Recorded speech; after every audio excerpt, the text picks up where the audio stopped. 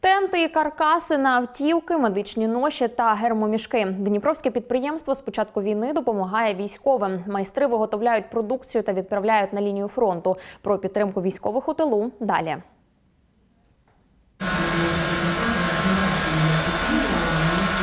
На підприємстві Тентова домівка кипить робота зранку й до вечора. Тут майстри-волонтери виготовляють мобільні ноші, тенти та рюкзаки. Все, що знадобиться нашим захисникам на фронті. Ми почали е, буквально з другого тижня війни вже е, робити гермомішки. Я взяв прототип, е, купував у туристичному магазині.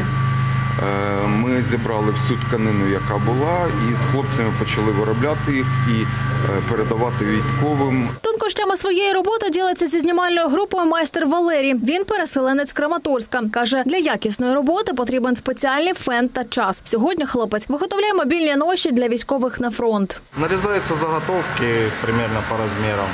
Э, Лямки сами тоже с этого же материала Э, Да, и все пристреливается по размерам и по начерченному. И начинается пропайка. На підприємстві Валерій працює вже місяці три. За цей час каже, зробив немало. Радіє, що може допомогти нашим захисникам. Они и как бы легко моются, и э, как-то удобные в запакованном виде.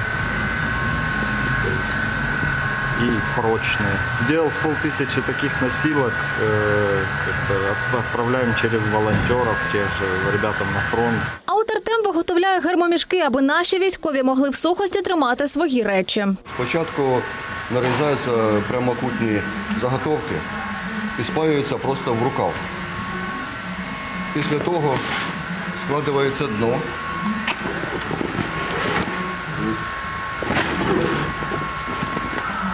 Запаюється все, щоб ж нічого не протекло. З однієї сторони вже. Далі е, береться ось такий ремень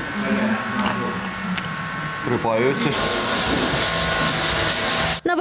Одного такого рюкзака йде декілька годин. Робота кропітка, кажуть майстри, адже не можуть віддати військовим ненадійну продукцію. По завершенню гермомішки та ноші компактно пакують, а наостанок ще й кріплять патріотичні наліпки, аби підбадьорити наших захисників. Матеріал ПВХ кольору хакі, е, дуже подібний до лодочної тканини. Ось, тому він не протікає, ні воздух, ні влага, нічого не виходить. Заготовок на... дуже багато треба зробити. Тому що, якщо заглянути всередину, там є карман для особистих речей. Будуть ще лямки на плечі, е, лямки для лопати.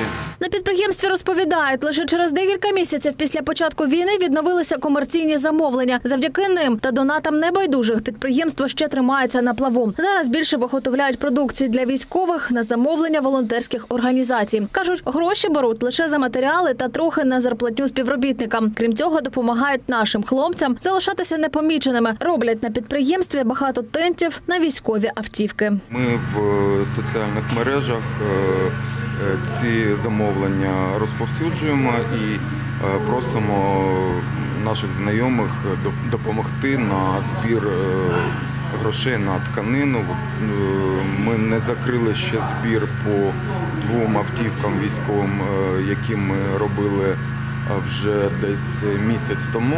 А ще будь-яка техніка рано чи пізно виходить з ладу, тому збирають на новий фен для зварювання. Тож, якщо бажаєте допомогти волонтерам пришвидшити нашу перемогу, реквізити на ваших екранах. Вікторія Вахрушина, Олег Родіонов, Open News, телеканал відкритий.